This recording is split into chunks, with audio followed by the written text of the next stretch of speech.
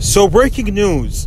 News that did not shock me, but extremely, extremely pissed me off. I'm not gonna lie. Now, I'd like to apologize in advance for any uh, noise in the background because I am driving. I am at work right now. So, Demetrius Andrade, the supposed boogeyman, the man I've defended for a long time, claiming that several fighters have ducked him, did the same exact thing that he has accused several guys of doing to him. Demetrius Andrade, per Chris Mannix and uh, Mike Coppinger, will vacate his WBO middleweight title to avoid Zhanibek Alimkhanuly. Janabak Ali Muhanalai was his mandatory opponent. Zhanibek Alimkhanuly, let's just be frank about it. He was going to be Demetrius Andrade's toughest fight of his career. This is a guy who's much better than Liam Williams. This is a guy who already has two former world champions on his resume. Something that that uh, Demetrius Andrade can't say. Demetrius Andrade does not have two former world champions on his resume, and uh, it's just puzzling. It's puzzling. Now, I hope, I hope he never gets a big fight in his career. I am now going to go to the extreme, from one extreme to, to another. I used to be a Demetrius Andrade defender. Now I will be a Demetrius Andrade attacker. This is going to be an anti Andrade channel. I hope he never gets a big fight in his career. I really do. Don't want him to get that payday, like Canelo said. Because he's not looking for legacy. He's not looking for career. He's looking for money. That's it. He just ducked the first meaningful challenge he's ever was about to face his entire career. Now that just shows you the mentality behind some of these fighters that claim, claim and cry everyone's ducking. Everyone's ducking. No, sir, you are the one that's ducking. Demetrius Andrade, you're a pussy. Yeah, I said it. Zhanibek Alimkhanuly was going to be the, your first meaningful opponent of your career. And what do you do? You fight him like a man? No. Let me just vacate my title. Fuck it. Gary Wilson Jr.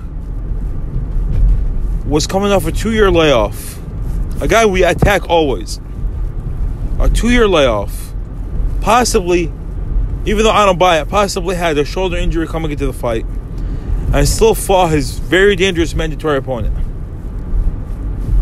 And it's not like Zhanibek Ali Muhammad has killer power. No, he's just a master boxer, which is Demetrius Andrade's field. So at least it's supposed to be. Demetrius Andrade's also a master boxer, a very awkward fighter, who many people thought he could beat Canelo. I don't think so. The main reason is not skill. Skill wise, yeah, he can hang with Canelo, no problem. But he fades down the stretch, big time. And we've seen that already with uh, Billy Joe Saunders and Caleb Plant. Guys that would outbox Canelo in spots but fade. Like, we've already seen this show before. So I think it'd be more of the same. It just depends on what round he knocks he knocks uh, Andrade in at. Round 7, 8, 9, 10, 11. Who knows? I just hope he does not get the Canelo shot. I really do. And he didn't, he didn't even want to fight Zach Parker for the interim uh, title at super middleweight. I'm not really sure what he's trying to do with his career. I'm not. He wants the big money fights, but does not want to take fights that would big up his profile. This is why I get upset when uh, certain fans claim Terence Crawford is ducking. Terence Crawford didn't vacate his title when Shawn Porter became his mandatory. No, he went in there and retired Shawn Porter. Demetrius Andrade chose the easy way out. Demetrius Andrade would much rather vacate his title and look like a complete. I don't want to. And Solomon again, he still is a two-weight champion, but still, what he did was very cowardly. Very cowardly. And if there's a word bigger than cowardly, I would use it. He's been his entire career just keep on saying, I don't get the big fights, I don't get the big fights, no one wants to fight me, no one wants to fight me. What are you doing now? The same treatment that you were criticizing your rivals for using against you, you used that against Zhanibek Al Muhammad. This reminds me a lot of Carl Froch, who throughout his entire career kept on attacking uh, Joe Calzaghe for not fighting him at the tail end of his career. But then, when the shoes were, were the shoes, I'm not sure. I forgot the saying. But when he was in the same situation with James DeGale, he vacated his title and retired. Did not fight James DeGale. These guys are so much hypocrites, man. They'll play the victim until they become the ones that are making other fighters into victims. And Johnny Buck Al Muhammad, maybe five, ten years later, is going to do the same thing. God knows. But Demetrius Andrade, the guy who's been crying about the lack of opportunities throughout his career, gets an opportunity right at his doorstep. I know it's not the biggest money fight in the world, but still, it's a good fight nevertheless. It's a fight that will build up his legacy. It's a fight against the certified top 10 middleweight. Uh, Johnny Buck Al Muhammad very skilled fighter. Johnny Buck Al Muhammad would be the toughest test in Demetrius Andrade's career. In my opinion, without a doubt. I got Al Muhammad ranking number five or six at the middleweight division. And I've, I told you my uh, previous video that there's a guy I think he's a dark horse candidate for cleaning up the entire middleweight division. And this is Johnny Buck Al Muhammad. I think this guy is legit. I think this guy is gonna beat a lot of guys if they fight him. Now, Johnny Buck Al Muhammad is with top rank. The other champions are Gennady Golovkin, the IBF champion. He's with DAZN. Ryota Murata, he's uh, in, based in Japan. I'm not really sure who he's with. And Jermall Charlo. Now, out of those guys, who, which one of you guys think is going to fight Johnny Buck Al Muhammad? To be frank, most of those other guys are pussies as well, just like Demetrius Andrade, including Gennady Golovkin. Gennady Golovkin now, some people are acting like he's uh, Marvin Hagler of his time. Gennady Golovkin has ducked several fights. Several. They can't even be counted. Ever since he picked up the IBF title from Sergey Derevyanchenko in 2018, he hasn't done shit. He's only fought Kamil Szeremeta. That's it what three years now. He's only fought Kamil Szeremeta. Very disappointed from Gennady Golovkin. Gennady Golovkin, same guy who said, "I'd fight anyone from 154 to 168, but never had a fight outside his weight division." The only guy, I guess, uh, he's never fought a guy bigger than him. He's fought several guys that were that started uh, less than middleweight. Gabe Rosado, Kell Brook, Canelo Alvarez, guys who are smaller than him, but he's never fought any guy bigger than him. I know I thought Golovkin beat Canelo twice, but Canelo will always have the better legacy. Canelo moved up to super middleweight and beat every single champion at super middleweight. Even though I did critique him for his timing, but he still did it. He went up to light heavyweight and beat Sergey Kovalev. He might even go up to cruiserweight and beat Orlando Makabu.